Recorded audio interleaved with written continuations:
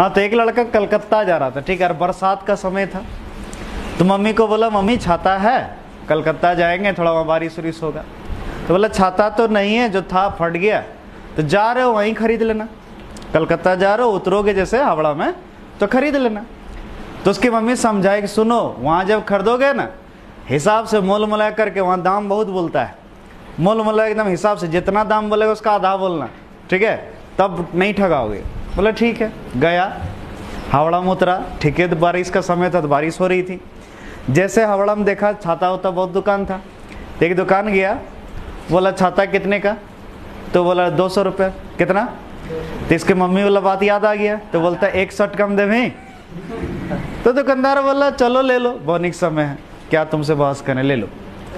तब फिर ई दिमाग लगाया अपना, अरे, एक सुन तो तुरंते में निकलो आरो का मेरे चाहिए। फिर बोलता, पचास टका में देवी लास्ट में बोला, चलो, ले लो। फिर बोलता, पच्चीस टका में देवी तो दुकानदार को बोल, गुस्सा को बोलता, फिर ये ले जाओ। तो बोलता, तब दू गो देवी